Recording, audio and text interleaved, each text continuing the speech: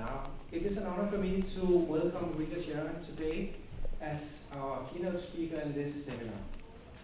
Rita Charon is a general internist and literary scholar at Columbia University who originated the field of narrative medicine around 2000. She's a professor of medicine and she is founder and executive director of the program in narrative medicine at Columbia. Since 2018, she is also chair of Columbia's new Department of Medical Humanities and Ethics. Rita Charon's research focuses on the consequences of narrative medicine practice, reflective clinical practice, and healthcare team effectiveness. She has written the influential monograph Narrative Medicine Honoring the Stories of Illness in 2006, and most recently co-authored the book The Principles and Practice of Narrative Medicine in 2017, both published at uh, Oxford University Press. Her articles in leading cross-disciplinary journals are almost countless. Since 2016, Rita Charon has been affiliated with researchers at University of Southern Denmark, giving lectures at seminars and guest lectures in our narrative medicine courses. And she has also kindly invited the university's researchers to attend her own teaching in various narrative medicine courses at Columbia, including me. In 2018, she gave the prestigious Jefferson Lecture in the Humanities. You can all watch it on YouTube. And today we honor her as adjunct professor of Faculty of Humanities at SDU. You may have noticed uh, today that today's lecture will also be filmed. Rita, mm -hmm. a warm welcome. Thank you. Now what do I do with this? Let's hope this works. Okay. And this goes in the other pocket. All right, we're set. So, so this is a very big challenge that you all have chosen um, to embark on. A lot of us talk about interdisciplinarity, and it's something that seems to be quite, uh, if not de rigueur, at least um, possible at this institution. Uh, it is not the case elsewhere, as you know. Um, it is um, perhaps in older um, universities, the um, walls between disciplines have become very calcified, and it's really hard to um, invite someone from another department to give a lecture in your school um, and to pay them. It's impossible. And so if there's any interdisciplinary work that goes on, it's all um, charitable. So there's no way to write grants together. It's very hard. So you, you guys should feel very lucky that you're in a place that seems, even kind of architecturally, to be open to wandering and flexibility. Um, um, this is the, this is the, this is the image I found a long time ago that seemed to um, depict the kind of listening that we hope goes on within narrative medicine, which is, um, it, it's called The Conversation. Uh, the author is Mary Cassatt. Um, and I chose it because um, it's non-denominational. It doesn't look like it's in healthcare in particular. They could be sisters, they could be um, friends, they could be neighbors. Um, but there is um, a very um, thoughtful thinking going on in the listener's face, um, um, while the light of the, uh, this is a pastel, is on the face of the teller. And I was trying to say something about the affiliation between these two. What I know now is that healthcare is probably the worst case scenario for interdisciplinarity. It's worse, it's harder, I believe, to have these kinds of conversations uh, surrounding health than it is surrounding law, surrounding architecture, surrounding education, surrounding music. Imagine if I'm an architect and, and, and Anders is an engineer, and we're building a bridge together, or we're building a building. Well, I can say to him, design wise, I'd really like for this to be 200 stories high. That would, that would fit my aesthetic of the building. And then Anders would say, well, I appreciate the aesthetic of the building, but that's, that's going to be unsafe on this particular terrain. So you can't do that. But we would still be kind of together in the conception of the problem. Whereas if I'm the internist, which I am, and Anders is the literary scholar, which he is, um, we are talking from contradicting and colliding conceptions, where my conception from its foundation has to be reductive. Because what I know about and what I intervene in is organs and tissues and molecules. This is what I do. And not only do I not have patience for, but I don't have the equipment to think about uh, um, the nuance of the individual person. So for you to say to me, no, no, no, uh, uh, you have to take your, your patient with rheumatoid arthritis and remember that she has a life and she lives on the certain block and she, she's uh, uh involved in the toxic uh, environmental something, something. And I have to say, um, I don't care. Do, do, do, you understand what I'm saying? That, that these are by nature colliding far more than the case in these other fields. That the, uh, uh, this is a reason to do it, but we do have to know that we are entering an arena where the foundational understandings of the problem are not only diverse, but they're in conflict. And this is why it's so necessary to do, and also why it takes a long time to do, because we have to uh, rather slowly coach our partners across the aisle to not be afraid. Don't be afraid. Your organs and tissues and molecules will continue to be very important. Do you see? I am not calling you a scoundrel because you hold on to your organs and tissues and molecules. Rather, I, I'm speaking now as the literary scholar, I'm very curious about your organs and tissues and molecules. Please tell me something about these checkpoint inhibitors. Do, do you see?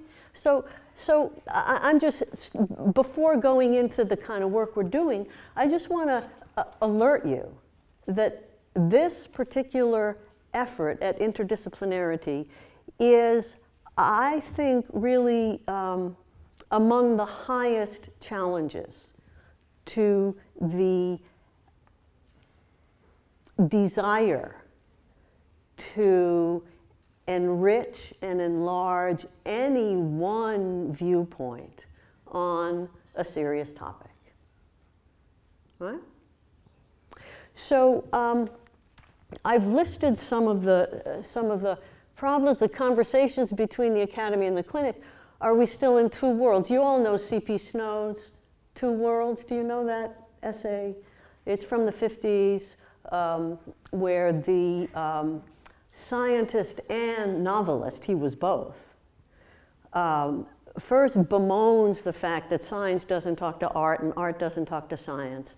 And he comes down rather squarely on the side of let science reign because he, uh, it, it, was his assertion that uh, the humanities scholars are terribly undereducated in science and, and, and they better get with it. Well, the two cultures continues now. Um, but we have, we have begun to bridge them. And, and I'm not going to talk anymore about law or music or architecture Um, um, I'll stay squarely within the, the, the healthcare domain. Um, and I'm going to I'm going to talk a little bit about three, well, yeah, three different kinds of interdisciplinarity. One is interdisciplinarity among the clinical professions. One is interdisciplinarity among the humanities professions. And then there are some efforts to actually cross those. But each one of them has challenges. So um, let me just start with an example that I hope is going to be one of the, the, the, the last ones. We're starting, and this is with funding through the provost office at Columbia, we're starting a certificate program which is in the US uh, a specialty track, if you will, in some of the doctoral programs. So this will be a specialty track for humanities doctoral students in, in literature and philosophy and history, maybe qualitative anthropology, uh, psychology. Um, and it has become the case in the States that medical humanities is being more and more taught so that in undergraduate colleges, uh, you can be a major in medical humanities in more and more colleges. Now, this is pre graduate school. Um, it is the case that more and more medical schools are hiring, hiring, hiring, did I say hiring? um, humanities uh, PhDs to teach in the medical school or the nursing school or pharmacy or, or the other disciplines. So, so there is a increasing need for both the humanities scholars and the medical people to know something about how to teach this, to know, some, to know something about the field of medical humanities beyond their corner of it.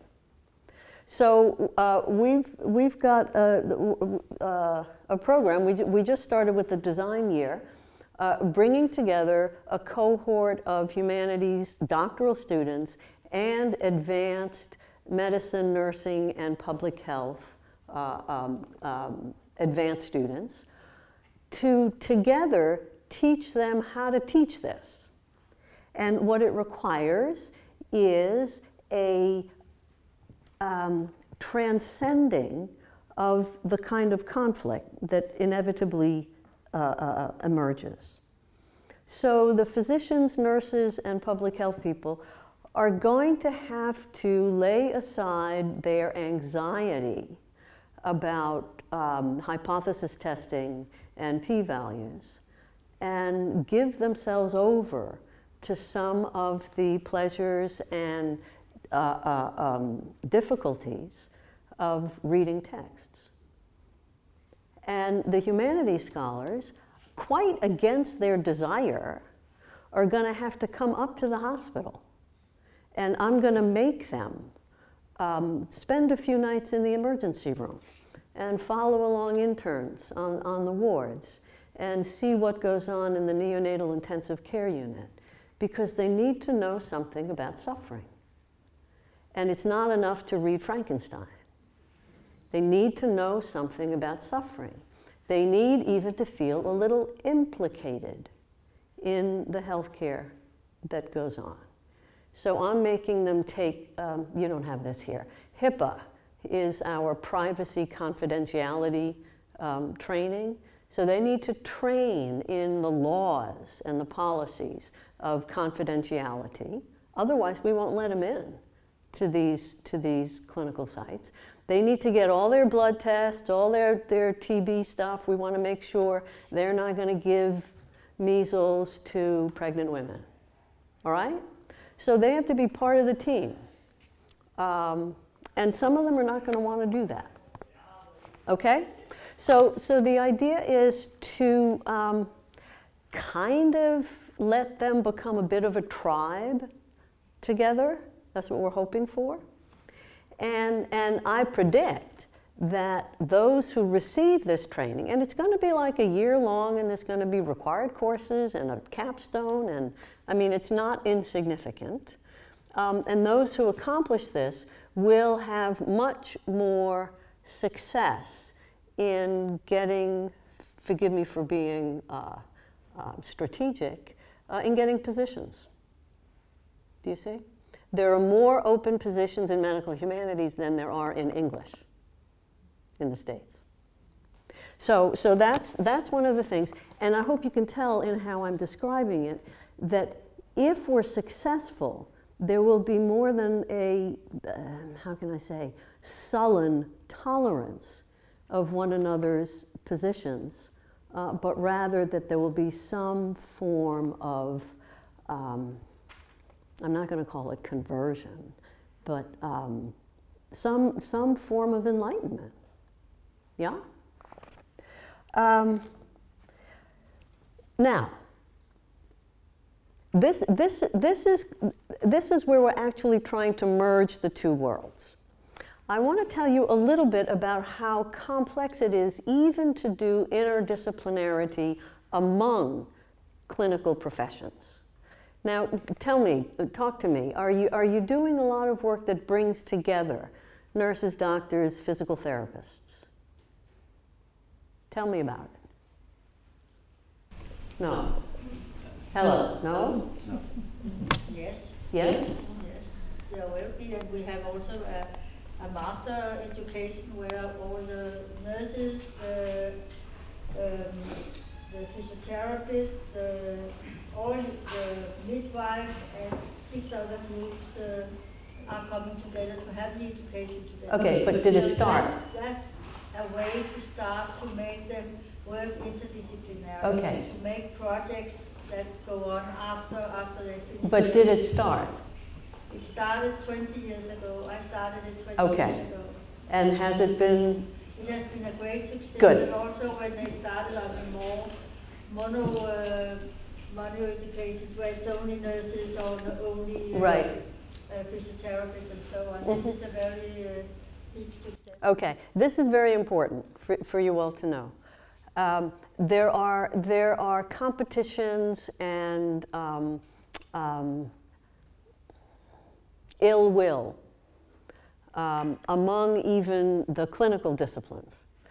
Um, tremendous ill will.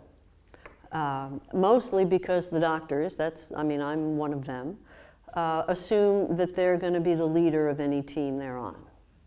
So there's, there's, a, there's a lot of work to be done. Uh, we have, I have taken on that responsibility at Columbia.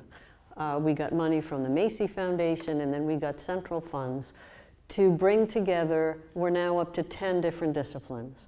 Um, but what it took to begin with was a whole year spent only with very senior faculty from each of the major schools to wean them away from the distrust that they had of one another.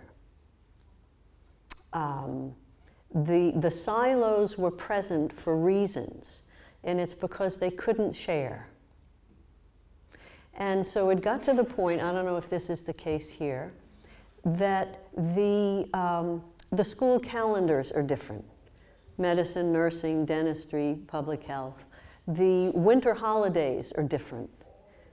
Three different winter holidays for, for these schools.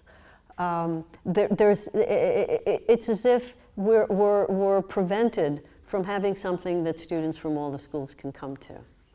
And this, of course, uh, trickled down to the students who, even before they started, the nursing students had real loathing for the physicians because of just how they heard their faculty talking about doctors. And the medical students, before we did all this, were, there was no loathing, there was complete indifference. What, why do I care what nurses do? And that too was, was derived from their elders. So, so it took us a whole year. It was like detoxifying um, with, with the leaders of the schools. And we did that. And the way we did it was through narrative medicine. And we didn't talk about health matters at all. We talked about fiction and, and cinema, and we had them writing stories. And they were very aghast at the beginning. I, I gave them the, the, the beginning of a story and asked them, please finish the story, write the ending. And they said, no, I don't know how to do that. You know, and they kind of sat but then they watched one another and the others were doing it, so they tried. And of course, it was brilliant. And they had no idea that they had it within them to simply make something up. So, so after a year of working with them, then we, we were able to together build courses um, for, for these students. Um, and, and, and by now, as I say, they're hefty educational interventions for the students together. And that is because the faculty have been able to buy in. Um, however, the kind of lessons that are taught treat interprofessional practice. This is very, very practical. So, like, how does it work to have a team in the operating room where the doctor is not in charge, it's the head nurse who's in charge? And, and how does it happen that they all follow a drill and do kind of uh, team necessary activities? These are the, the so-called competences that we try to uh, develop. And you see, they're all very instrumental. What are the roles of all the, the, the, the disciplines? What are their responsibilities? What are their own values vis-a-vis the kind of teamwork? Uh, how do you even talk to one another? There's like, well, I know that, that um, I, I call Smith Dr. Smith if he's a doctor. What do I call Smith if he's a nurse? Do I call him Mr. Smith? Do I call him Nurse Smith? Do I call him Charlie? See? I mean, even simple, simple things like, like how do you talk to one another? Uh, it is the case, and we've done complex uh, linguistic work in one of the intensive care units, um, that on rounds, on morning rounds, when the whole team uh, goes around, the nurses are literally not allowed to talk. The nurse will ask a question at rounds and they'll say, oh, well, just go talk to the social worker afterwards. That it's not part of rounds to say, but we have to figure out what to do because her daughter is leaving for Tokyo tonight. Oh, well, that's not important. So, so there's tremendous amount of work simply, simply at this level of, of how do these persons uh, uh do the minimal amount of communicating so as to be able to solve problems together. Do you see? Um, so, so these are the things that we try to, to um, develop and work toward. Now, let me show you where the, the narrative comes in. These are, these are the, the, can you read these? I don't know from up top, but we've got 10. We're so happy to include chaplains and dentists. Genetic counseling is our newest one, medicine, nursing, nutrition, OTPT, public health, and social work, um, which even goes beyond the health sciences campus. The social work is down on arts and sciences. So, so we feel very, um, oh, boasting that we've been able to attract this many of the disciplines. And of course, with the schools come faculty. So our steering committee is like 25 people, and, and all of them very engaged. Um, now, the, the, the successes continue to be made through narrative methods. So that when we have these interprofessional, um, we, we have an IPE day, which is one day when all the classes are canceled on the health sciences campus. All the classes are canceled. Uh, and we get all the classrooms. We get all the auditoriums. And in that one day, we have, we were teaching 1,800 students with 75 faculty members and 150 uh, workshops, seminars, and lectures. And it's like a big splashy Olympics. And, and you can imagine the amount of work it takes to pull this off. Um, but that it is like the institution's statement that this is something we want to get good at. Um, Many of the, uh, the things on IPE Day, IPE Nights is simply a monthly iteration of that. Um, our shared, our shared clinical teaching, this one, is kind of the, uh, the highlight. It's a semester long, um, um, uh, how can I say? Um, it's a real seminar. I mean, you come every week and you do homework and you have to write papers. Um, but the students are uh, a few from each of these schools. Do you see? I mean, there'll, there'll be, you know, one nurse, one doctor, one, uh, and there's, what do we have? 16 at the, at, at the most. But the point is that they're really together learning things that don't belong to any one discipline. So there's one seminar on, on death and dying, there's one seminar on healthcare justice, there's one seminar on relationships of care, that kind of thing. Uh, there's one on spirituality and healthcare. And there, the work is very much fueled by narrative work, where one of us from narrative medicine is there teaching um, and, and bringing up issues and questions and conversation based on um, works of art, based on actual uh, expressive writing that goes on.